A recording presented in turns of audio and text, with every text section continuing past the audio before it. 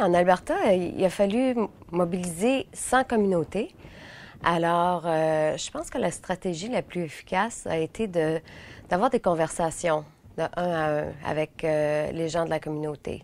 Et je pense que la philosophie qu'on s'est employée, c'était de euh, l'effet IKEA. Je ne sais pas si vous connaissez ça, non?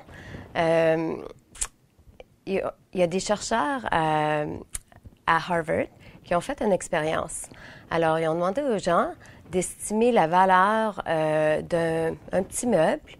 Euh, et puis, il y en avait un qui était déjà monté et l'autre, il fallait l'assembler.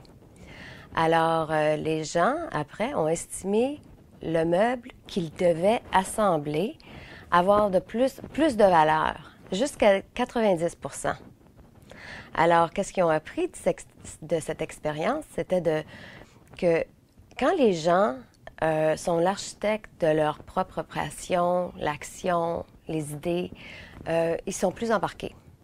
Alors, c'est ça, ça a été notre approche, d'embarquer les gens un à un et de leur, demander qu'est-ce qu'ils voulaient pour leur communauté. Une autre stratégie, c'était d'avoir euh, un coin conversation dans, dans les malls. Alors, c'était de suivre les parents.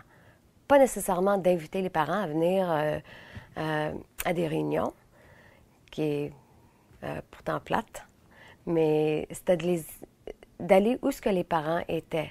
Alors, nous, avons été dans les malls, nous avons fait un coin conversation, parce qu'on mettait des, gros fauteuils, puis on avait des questions. Alors, les parents ont eu la chance de nous donner leur perspective en tant que parents dans une communauté lier les, pompiers aux petits-enfants dans le milieu d'une bibliothèque. Alors, euh, il y avait une, communauté parce que les pompiers, ils ont, beaucoup de temps. Ils ont beaucoup de temps libre, les pompiers. Alors, et les pompiers sont encore euh, aperçus comme des héros pour les jeunes. Alors, durant leur temps libre, les pompiers allaient à la bibliothèque et ils lisaient avec les jeunes enfants. Alors ça, ça fait de fureur ça fait de fureur.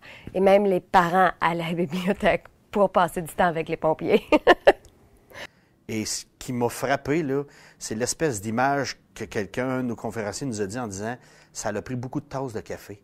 C'est-à-dire que c'est au fil du temps, au fil des discussions, avec énormément d'échanges, de, de, tissage ou de création de liens de confiance, qu'à un moment donné, on en arrive à être capable de comprendre qu'est-ce que notre milieu vit, comment notre milieu est encarcané et où c'est quoi ses, défis.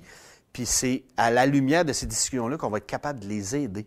Parce ce que j'ai envie de nous dire, c'est on prend notre baluchon, on prend notre mal à patience en disant ça va prendre du temps, c'est normal, c'est important, la petite enfance, on va se mettre en action, on va être à l'écoute plus qu'on va peut-être dire, mais il faut redire notre message fermement que la petite enfance est un incontournable et allons voir comment ça se fait et comment ça peut se faire dans votre communauté.